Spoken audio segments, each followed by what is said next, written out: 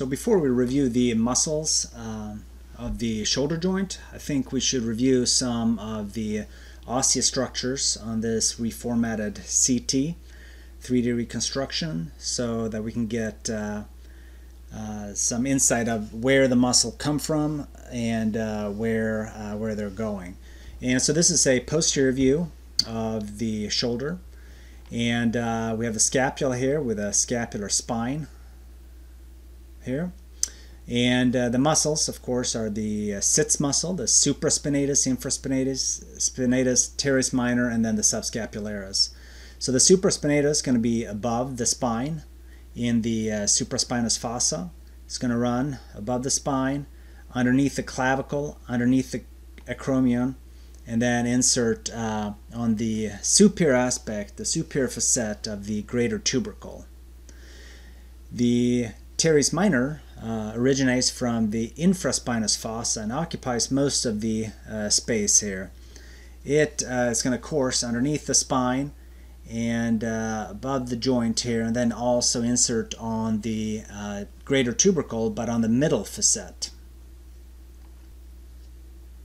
So the last muscle posteriorly is the teres minor muscle which uh, originates from the middle half of the lateral border of the scapula and uh, it's a smaller muscle uh, and the muscle belly blends in with the infraspinatus muscle but it's going to course and insert also again on the greater tubercle but more inferiorly. So you can see that these muscles as they insert uh, uh, the infraspinatus and then the teres minor muscles and if they're pulling on the greater tubercle in this fashion they're going to externally rotate the humerus. Whereas the supraspinatus muscle uh, as it comes in it inserts from above onto the greater tubercle is going to help initiate abduction uh, of the arm, pulling it outward. So let's rotate this around and uh, play this video. And uh, now we're going to be looking from uh, the medial aspect, looking out uh, laterally. And you're going to have the supraspinatus on top you're going to have the infraspinatus spinatus, and then the teres minor. And then anteriorly, you're going to have the subscapularis. And when you look at this, you know you're anteriorly because you have the coracoid process extending out here anteriorly. Uh, so that's a helpful hint when uh, looking at the MRI. So let's play that here. And so you're going to have the subscapularis uh, occupying the subscapular fossa and it's going to extend the muscle laterally and then the tendon is going to insert on the uh, lesser tubercle and of course if you pull on this uh, by the subscapularis is going to internally rotate the arm as opposed to infraspinatus and teres minor externally rotating.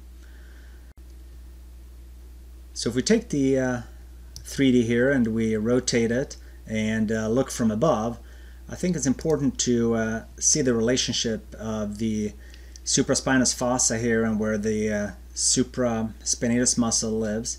And the tendon is going to have to travel uh, underneath the distal end of the clavicle and the acromion to get to the greater um, uh, tubercle of the humerus.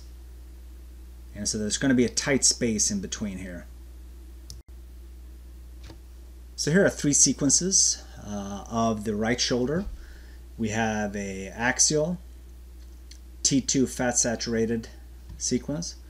We have a coronal on the right here, T2 fat saturated sequence, and then we have a T1 sequence in the center here uh, in the sagittal plane. And you can see that uh, uh, I have the scout lines, these lines on each side that show you uh, as I scroll on the sagittal in the middle the orientation of uh, the images and uh, they're obtained perpendicular to the glenoid fossa uh, like this both in the coronal and in the axial planes. So let's start looking at the sagittal view, uh, the T1 sequence here, and I think the sagittal view is probably the easiest to see the muscles uh, along their course. So first of all, here's the scapula, and we're lateral enough that we don't see the scapular spine itself, but here is some fat. So seeing the scapular spine, you know that uh, we're now posterior here to the right on the image and anteriorly to the left. And again, it's labeled here on the MRI, A for anterior. And so the muscles, supraspinatus, and then we're going to have infraspinatus, and then the teres minor is going to be hard to tell apart from the infraspinatus, uh, the muscle bellies, but we'll see the tendon. And then anteriorly to the scapula, we have the subscapularis. So the muscles themselves are going to be gray. See all the different muscles have same uh, grayscale. And uh, tendons are going to be black. So let's take a look at the supraspinatus. You can see there's part of the tendon here inside the muscle belly. And as you scroll laterally, the muscle's going to get smaller. Here it is, passing underneath the uh, acromion and this, the clavicle. Here's the muscle belly, and here's the tendon inserting on the greater tuberosity. All right. So then below the spine, you're going to have the infraspinatus. Here's the tendon, so let's follow that out. Tendon, tendon. Inserting on the greater tuberosity. Now if we go backwards, we should find the teres minor separate from the infraspinatus. And so let's see if we can find that. And it's right here, small tendon infraspinatus, blending in the muscle belly, blending in with the uh, uh, uh, infraspinatus. So teres minor, moving laterally, again inserting. You see how they form a cuff around the humerus with their tendons, kind of all blending together. So if we go faster, supra, infra, and then it's going to be teres minor. And as they come in, they form a black cuff of tendon around there. So then anteriorly we have the subscapularis uh, with portions of the tendon here coming together, forming a thicker tendon, and then inserting right here on the lesser tuberosity.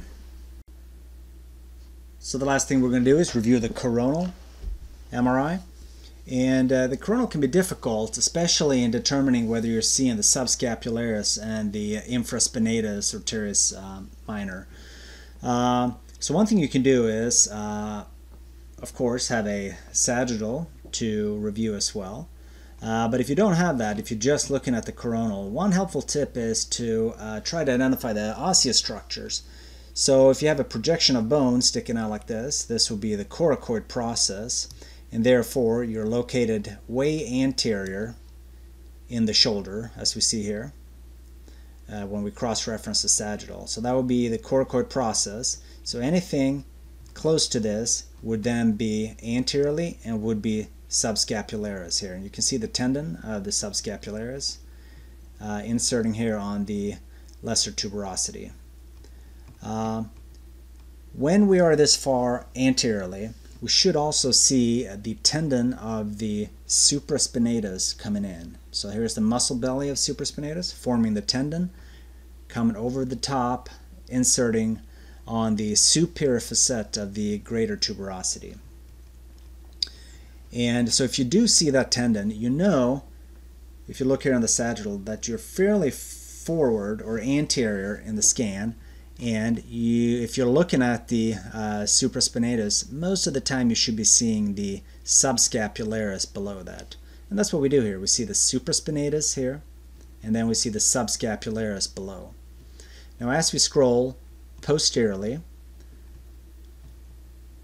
we'll go uh, on the other side of the scapula, passing by here, and we'll now see the infraspinatus having more of a, uh, I guess, inferior to superior uh, directed course compared to the supraspinatus, which had a more uh, horizontal course here.